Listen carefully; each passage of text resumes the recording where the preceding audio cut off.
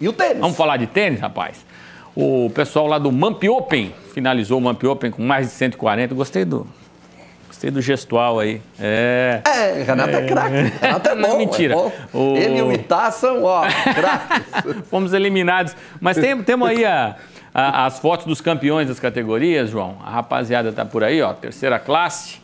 O Guilherme Gramacho, o Thiago Scorsin, aquele grandão lá que bateu em mim, depois bateu no, no Itá também. Ah, Mas é? perdeu pro, perdeu pro Gui, pro Guilherme. Essa, essa é a categoria elite, ó. O Valmir Carvalho foi o campeão. Aí a garotada da categoria infantil, José Marcelo e o Matheus Silva. Garotado começa cedo, né? Aí fica mais fácil. Esse aí joga muito, segunda classe, ganhou, Luiz Semensati, esse eu conheço bem.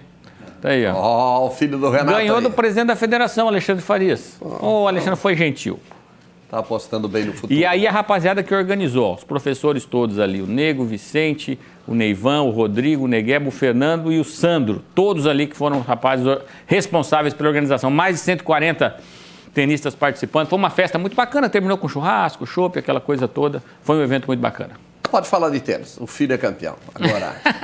é, já falamos aqui sobre a evolução da espécie, né? É, Darwin é sabe disso. Valeu, Renato. um abraço. Renato com o esporte.